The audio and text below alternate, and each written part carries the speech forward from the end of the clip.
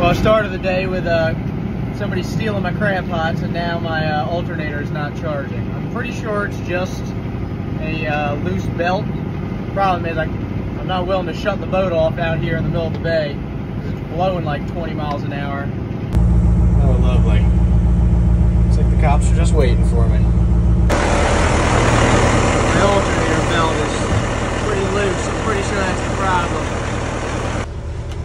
Ooh, that's risky. Uh-oh. Looked at it now.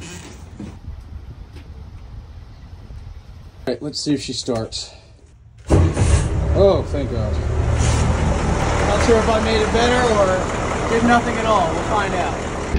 Well, appears we fixed the problem for now, at least. And the cops are actually pretty cool. They said they keep an eye out. They're the same guys that are uh, trying to help CJ out here with people stealing his crabs. So, we'll see how it goes.